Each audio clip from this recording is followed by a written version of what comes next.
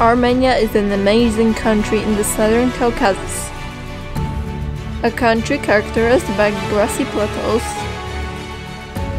majestic mountains, beautiful lakes, a country rich in Christian heritage, but it's a nation with very poor economy where people live very modest lives and don't need much to feel happy.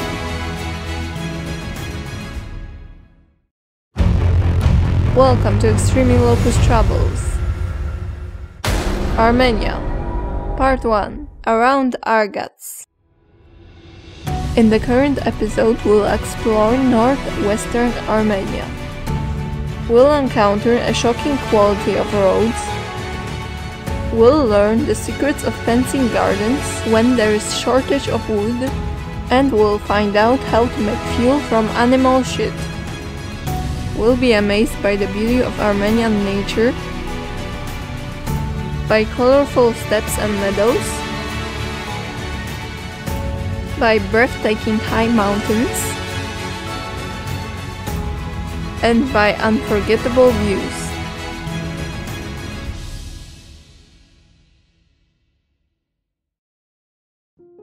In the previous episodes, we traveled across Turkey and Georgia to finally reach Armenia.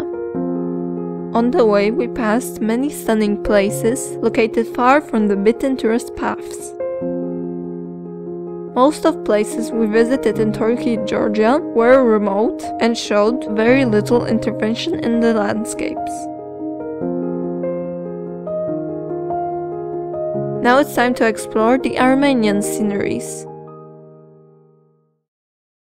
Crossing a border with Armenia took us less than an hour, but left us somewhat disappointed.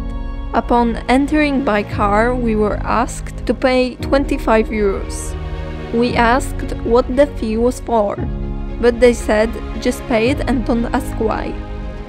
After filling some papers, we were able to start to explore Armenian roads. In order to drive on the roads here, you should buy liability car insurance. It costs about 10 euro per two weeks if you buy it online.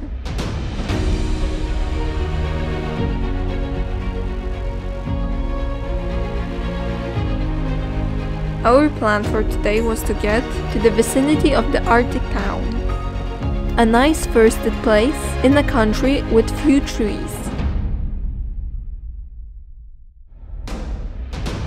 We made our first stop in Atashir town. Based on the appearance of the town, it becomes clear that this country is not among the wealthy ones.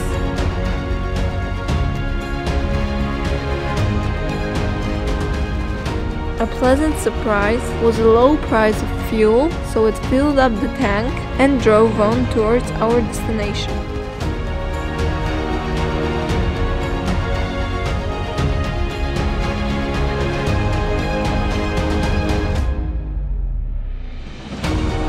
After leaving the town, we quickly realized the tragic state of most Armenian roads.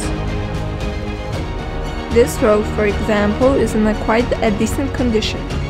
The potholes in the asphalt are quite shallow, so you can even drive at 40 km an hour.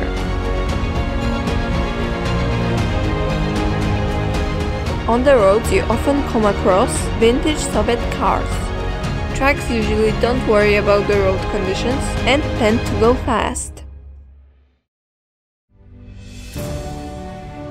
The landscapes of Armenia are dominated by vast grassy highlands.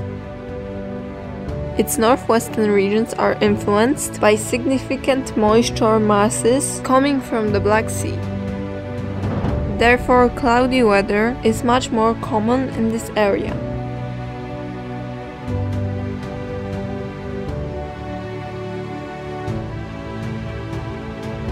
Continuing south to the country, you can observe that moisture is trapped on the nearest mountain peaks. And on the southern part of the mountain ranges, the weather significantly improves.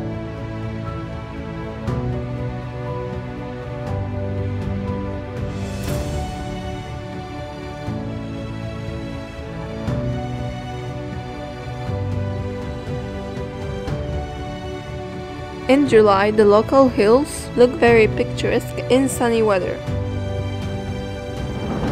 But strong winds are very frequent here.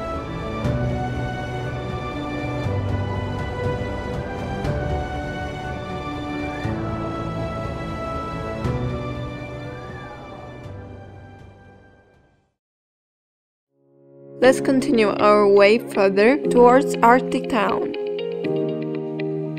The villages and the countryside are very poor and neglected.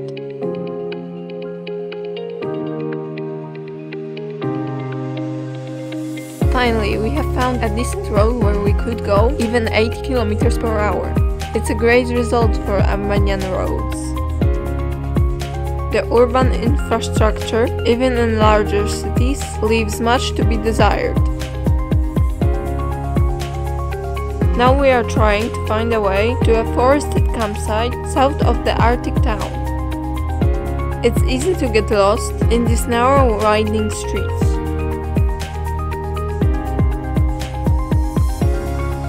But finally we managed to get to our today's campsite.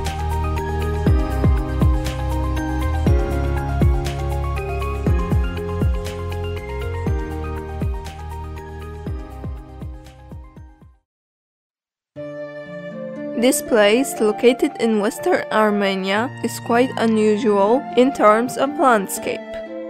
Specifically, it's a wooded area. For most people, forested areas may not seem unusual, but Armenia is one of the highest elevated countries in the world, with an average elevation of about 1,800 meters above sea level. At such high altitudes, forests are rare and there are very few of them throughout Armenia. The majority of Armenia's territory consists of grasslands and steppe areas. Therefore, the forested areas are valuable and serve as desirable places for relaxation for the local population. This particular place is located at an elevation of over 2100 meters above sea level. Higher up, only grassy mountainous areas stretch out. Lower down, where the weather conditions are milder, you can see towns such as Artik. The place we're staying right now is surrounded to the south with mountains of elevation exceeding 3000 meters above sea level.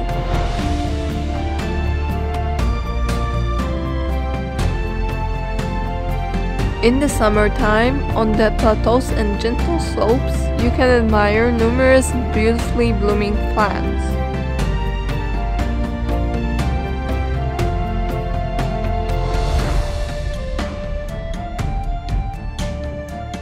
The climate here is more continental than the one we observed in the northwestern part of the country, and it's characterized by short frosty winters and hot summers with relatively low amounts of precipitation.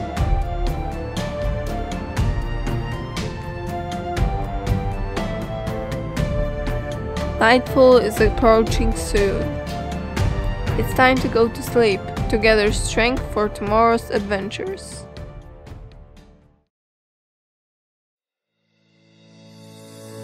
Another morning has come, time to stand up.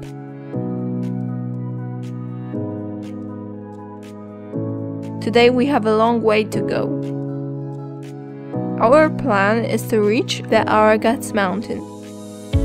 Luckily for us, some roads on our way are in quite a good condition.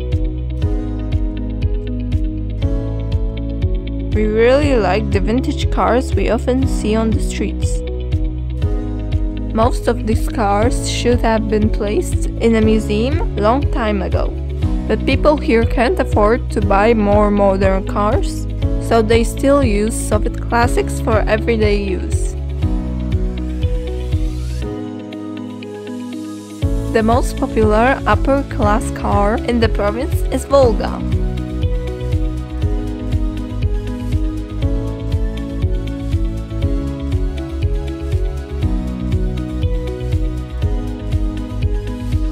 and the most common car on the roads is Lada. Ladas are present here in all colors and shapes.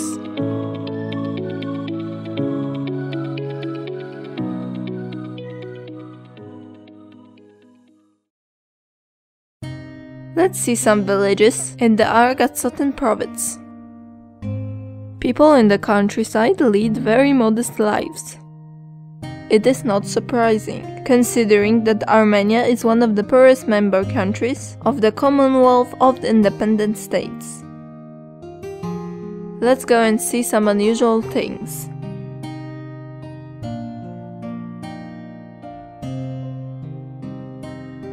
The most characteristic and surprising sight for foreigners are drying bricks made of animal dung and grass. Dried animal droppings are used as a fuel for cooking and heating. The production and use of such fuel is common in rural areas of low-income developing countries where access to other energy sources is limited. Armenia lacks significant fossil fuel resources or large forested areas. So the dried shit is the cheapest and most available source of fuel here. Let's explore other unusual solutions that aren't commonly found in typical European villages, such as the methods of fencing fields and gardens. In Armenia there are few trees, making it difficult to build a regular fence. However, there are many car wrecks that are ideal for creating a solid fence. I have to admit that I haven't seen this type of fencing anywhere else.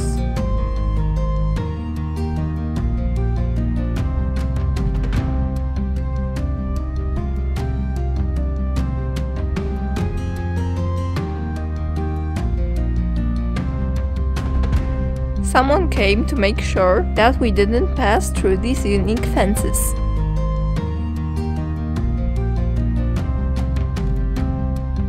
Now my dad needs to find a way to the Aragats mountain.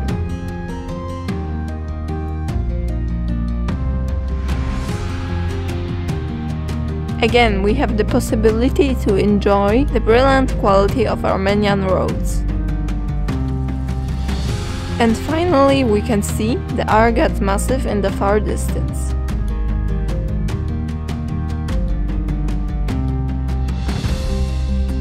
Here at the altitudes of about 2000 meters, the landscapes are dominated by grasslands.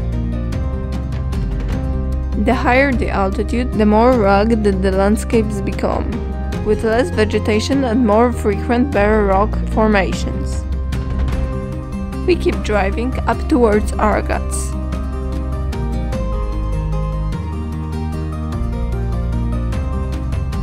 On the way we pass by a few temporary summer shepherd settlements. Now we are at the altitude of over 3000 meters, and the local road here is in surprisingly good condition. The car has problems to go faster. The thin air at these altitudes causes the engine to lose power and heat up more. But the goal of our journey is not far now.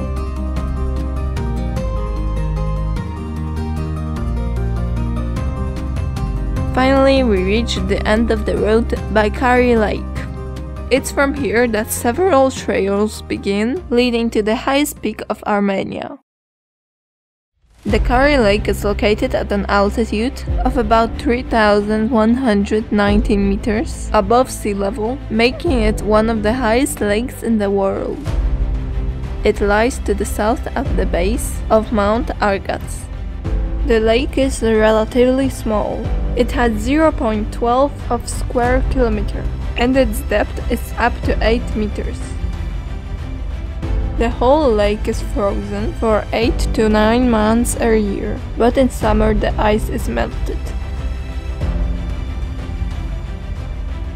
The water of the lake is cold and comes mainly from melting snow and precipitation.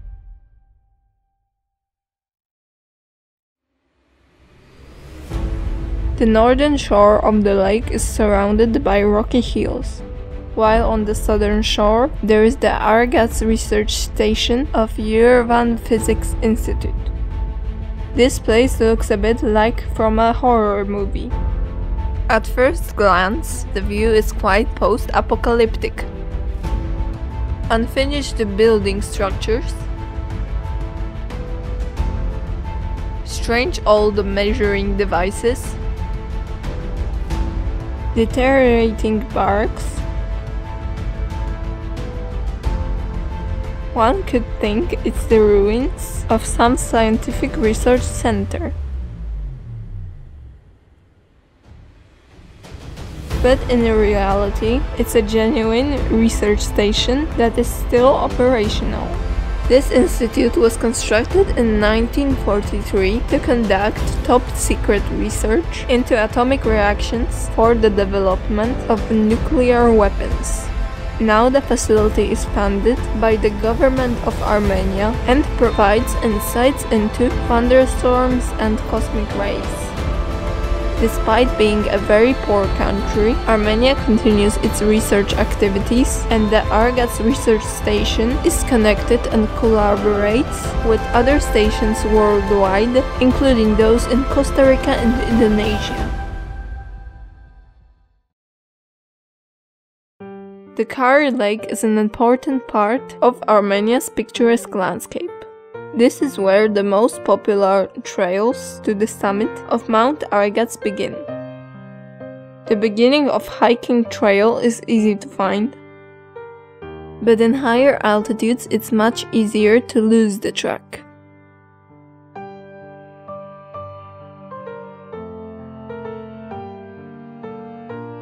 Today we don't have enough time before sunset to get to the top of the Aragats mountain, so we'll enjoy the beautiful surroundings of the Kari Lake.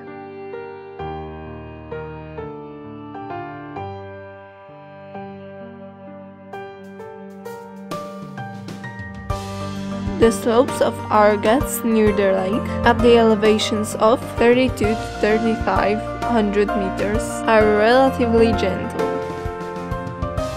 Numerous grassy areas are present here. During the summer, herds of livestock graze on these high-altitude meadows.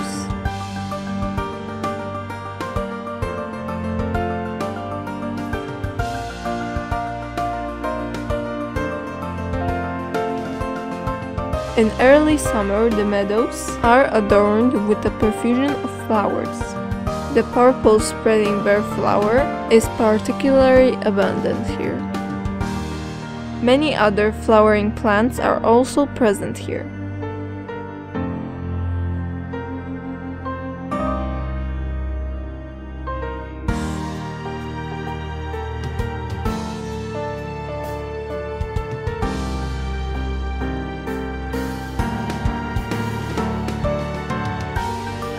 At slightly higher elevations, green meadows gradually give way to rocky scree.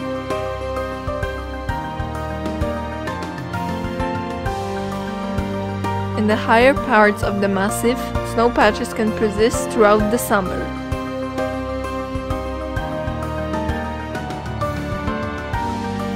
The bare rocks often take on a reddish hue.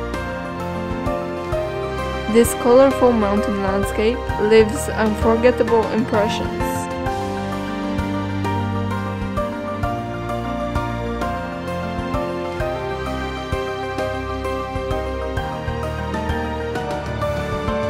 In the highest areas you can admire the beautiful ridges from which several peaks of the extinct volcano Aragats emerge in the distance.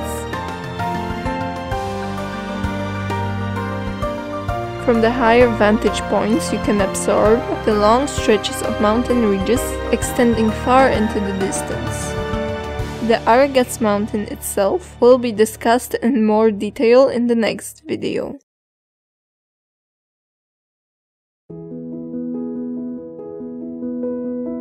Now it's getting late.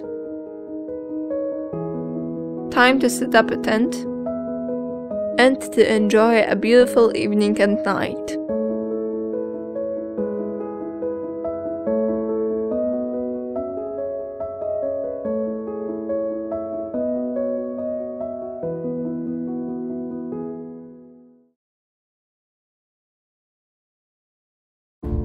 In the next episodes, we'll visit the other regions of Armenia, starting from the Aragats Peak through the Khor Virap viewpoint of Mount Ararat and famous monastery, mountains of central Armenia, beautiful Sevan Lake, and the wetlands nearby, and ending at the Lake Arpi National Park. Once again, we'll witness the hardships of life in the countryside, we'll admire the unconventional fences and numerous vintage cars still in daily use. On our way back to Europe, we'll visit many beautiful places in Turkey.